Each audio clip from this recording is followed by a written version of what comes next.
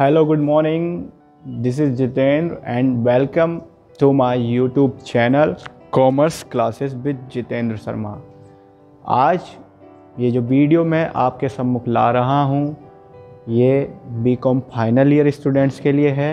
और एक on demanding video है। वैसे तो मैं बी कॉम फाइनल ईयर की जो क्लासेस हैं वो ले रहा हूँ लेकिन अभी तक मैंने बी कॉम फाइनल ईयर की जो वीडियो हैं वो अपने यूट्यूब चैनल पर शेयर नहीं की थी, लेकिन कुछ स्पेशल रिक्वेस्ट के बाद मैं ये वीडियो को आप सभी तक लाया हूँ ये पहला चैप्टर है अमालगमेशन ऑफ़ कंपनीज़ और ये बेहद खूबसूरत टॉपिक है कॉरपोरेट अकाउंटिंग का। इसमें सबसे पहले हमें जानना ज़रूरी है कि अमालगामेशन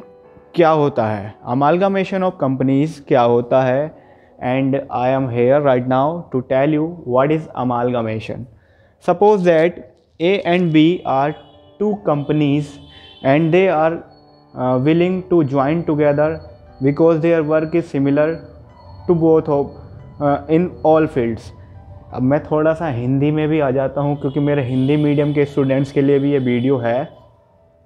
तो मान के चलिए कि ए लिमिटेड और बी लिमिटेड दो कंपनियाँ हैं जो एक जैसे वर्क प्रोफ़ाइल से जुड़ी हुई हैं और अब वो चाहती हैं कि वो दोनों एक साथ मिलकर के काम करें। उस कंडीशन में उन्होंने क्या किया? ए लिमिटेड और बी लिमिटेड ने मिलकर के एक नई कंपनी का जो कंस्ट्रक्शन किया है, उसका नाम रखा गया है एक्स लिमिटेड आपने एक बात यहाँ पे नोटिस की होगी कि ए लिमिटेड और बी लिमिटेड जब मिले तो वो पार्टनर बन गए होंगे। ऐसा नहीं है। Amalgamation is not a partnership यही बात हमें क्लियर करनी है कि पार्टनरशिप होती है जहाँ पर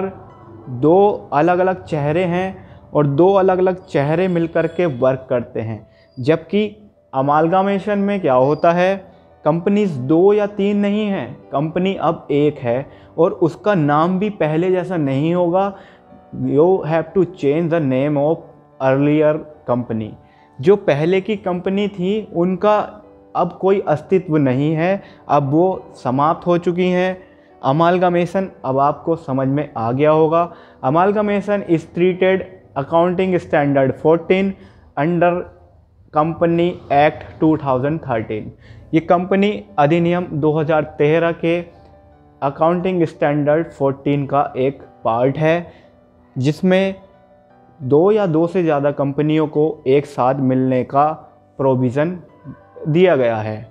दो या दो से ज़्यादा कंपनी अगर एक साथ मिल कर के काम करना चाहती हैं और वो चाहती हैं कि हम एक नया नाम लाएँ then you have to go for amalgamate them amalgamation two types का है। In the nature of merger and in the nature of purchaser merger यानी कि आप सभी जानते हैं मर्ज यानी कि जुड़ना, यानी कि जब कोई एक कंपनी अपने आप को दूसरी कंपनी में पूरी तरह से टेक ऑफ़ करा दे, या ऐसे कह सकते हैं one a company take over all the responsibility all the external liabilities of another company is called the merger ठीक है? बात धीरे धीरे क्लियर होती जाएगी। And the second one type is here in the nature of purchaser यानी कि जब एक कंपनी दूसरी कंपनी की जो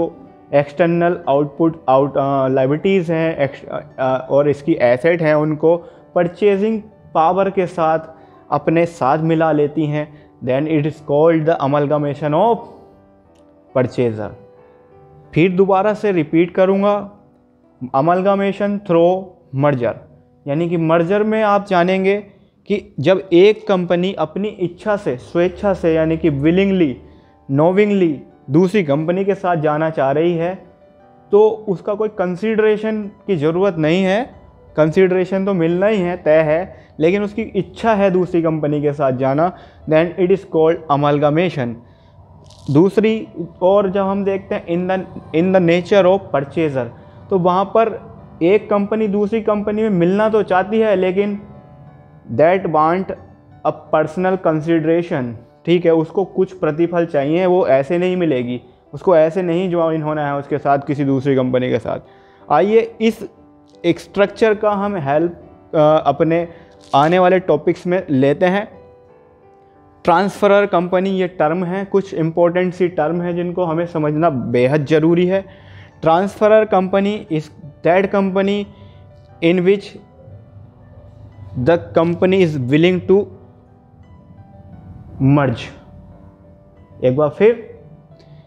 ट्रांसफ़रर कंपनी वो कंपनी है जो किसी दूसरी कंपनी में चली जाती है मिलय विलय हो जाती है। आजकल तो प्राइमरी और ज्वाइन जूनियर के स्कूल्स भी विलय हो रहे हैं कंपोजिट हो रहे हैं। जब ए कंपनी बी कंपनी के साथ आकर के मिल जाती है मर्ज हो जाती है तो जो कंपनी ट्रांसफ़र होकर आई है, वो हो गई ट्रांसफ़रर कंपनी ट्रांसफ़रर कंपनी और जिस कंपनी में दूसरी कंपनी मिलने के लिए आई है, वो होगी ट्रांसफ़री कंपनी आई थिंक आपको ये दो कॉन्सेप्ट क्लियर हुए होंगे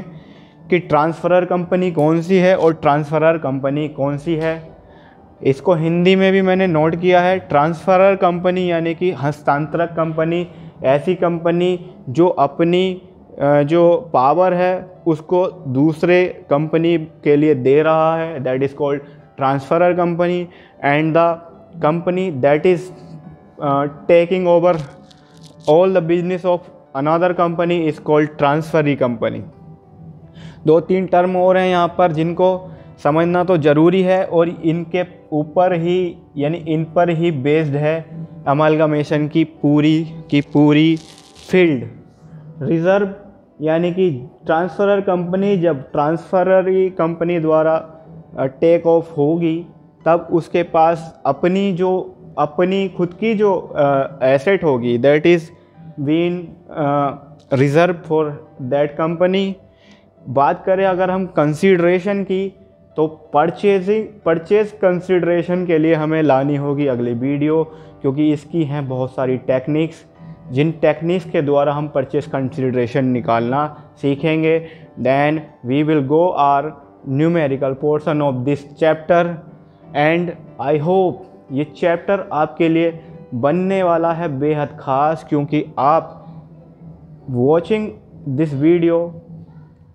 After watching this video, you will clear your doubts how will a company amalgamate with another company. So please stay tuned with my channel so that you can enjoy all the videos, you can uh, clear your all doubts.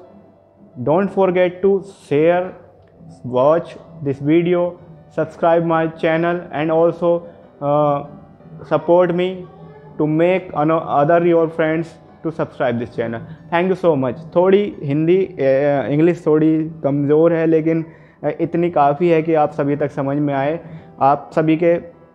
जो है नज़रिए में बस ये जानना ज़रूरी है कि आपको पॉइंट टू पॉइंट क्लियर हो पा रहा है। अगर मैं आप सभी को आपकी